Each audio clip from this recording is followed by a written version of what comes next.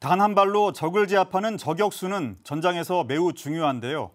해병대는 지난 15일부터 사흘 동안 전부대에서 참가한 저격수들을 대상으로 제1회 해병대 사령관배 저격수 경연대회를 열어 다양한 전투 기술을 평가했습니다. 이규혁 기자의 보도입니다.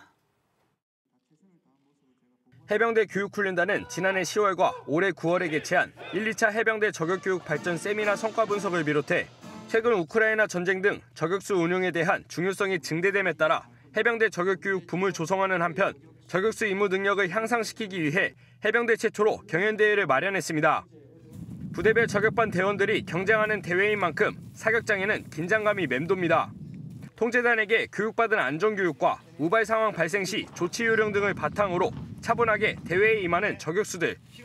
제1회 사령간배 저격수 경영대회는 각 부대 대표 선수들이 참가하여 다양한 사격을 통해 어떠한 작전 환경 속에서도 고가치 표적을 제압할 수 있는 능력을 확인하기 위한 자리입니다. 혹시 모를 상황에 대비해 사격 전 경고 방송을 실시했으며 구급차 현장 위치 등 안전 대책을 마련한 가운데 대회를 진행했습니다.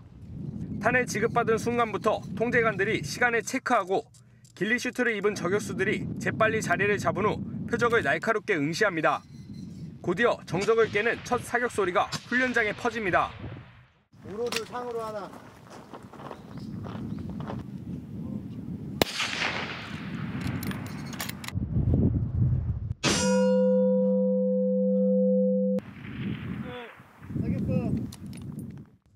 날아간 탄이 표적에 명중합니다. 이번 대회에는 부대별 저격 요원이 참가해 각자 소속 부대의 명예를 걸고 사격 기량을 뽐내며 열띤 경쟁을 벌이고 있습니다. 700m에서 800m 거리에 표적을 맞추는 원거리 사격이 끝나고 이동 표적을 사격하는 주간 정밀 사격과 800m 이내에서 밀점 미지거리를 사격하는 팀 사격이 이어집니다. 평가관이 사격 평가 점검표에 점수를 보여주고 저격수는 점수를 확인한 후 서명합니다. 평가관들은 가상의 상황들과 연계해 항목별 평가를 진행하고 표적 제압률과 제한 시간 초과 등을 고려하며 점수를 부여했고 공정성을 위해 6개의 센서가 있는 자동 감응식 표적을 활용해 탄착점을 하나하나 확인했습니다. 이어 제한 시간 내에 진지 선정과 상황 조치 능력을 확인하는 전술 항목이 끝나고 종목별 기록과 점수 합산이 마무리됐습니다.